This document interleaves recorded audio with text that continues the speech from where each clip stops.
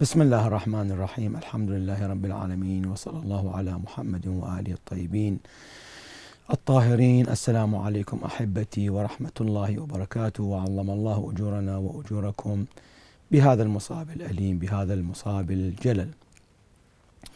ونسأله تعالى أن آه، يرزقنا شفاعة أبي عبد الله الحسين في الآخرة وفي الدنيا زيارته إن شاء الله تعالى. الواقع أحبتي سؤال أيضا يطرح أنه لماذا بعث أهل الكوفة تلك الرسائل إلى أبي عبد الله الحسين؟ سلام الله عليه.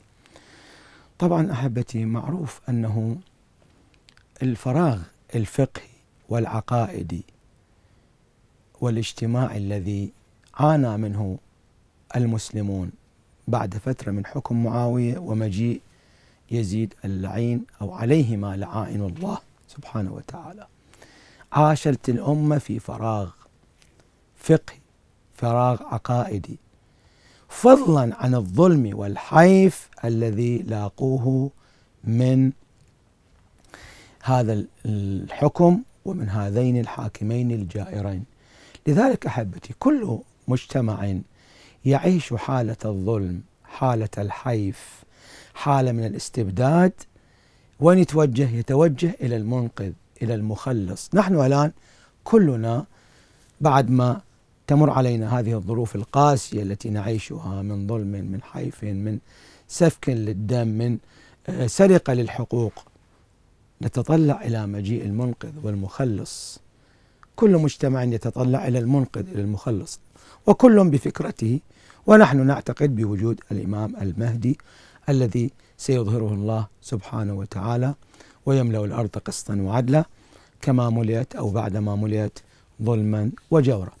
لذلك أهل العراق أهل الكوفة لم يجدوا ملاذا خاصا كأبي عبد الله الحسين بعد أن عانوا ما عانوا من رحيل أمير المؤمنين ثم الإمام الحسن صلوات الله وسلامه عليهم أجمعين.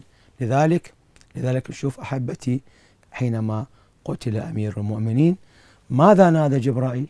نادى بين السماء والأرض تهدمت والله أركان الهدى.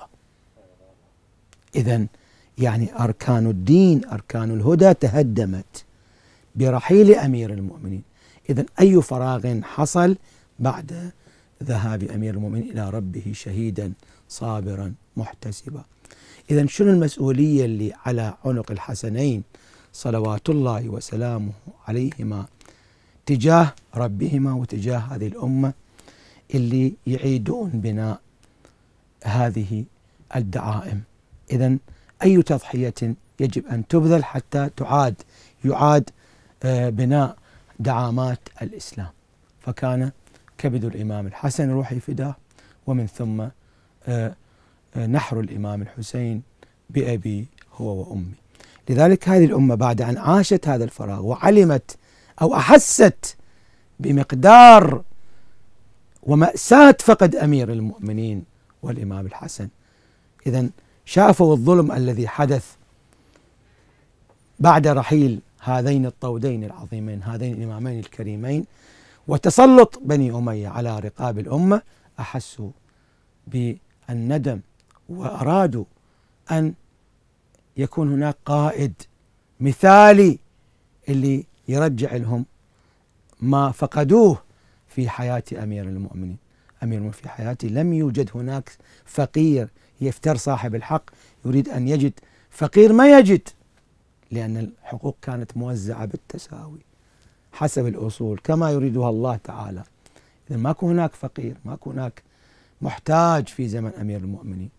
ما أحوجنا إليك ولحكومتك يا أمير المؤمنين في هذا الظرف الصعب.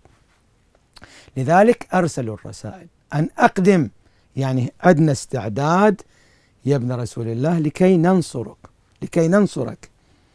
لقد أينعت الثمار واخضر الجناب إنما تقدم على جند لك مجند. القائد يحتاج إلى قاعدة جماهيرية. قاعدة جماهيرية نوعية مو كمية. ما يحتاج إلى كم إنما إلى نوع. لكن 12 ألف رسالة أرسلوا. حملي بعير أفرغها الإمام. سلام الله عليه. يوم عاشوراء. يا شبث بن ربعي ويا حجار بن أبجر. ألم تكتبوا إلي أن أقدم؟ قد أينعت الثمار واخضر الجناب. إنما تقدم على جند لك مجندة. قالوا لم نفعل. قال سبحان الله. بلى والله لقد فعلتم.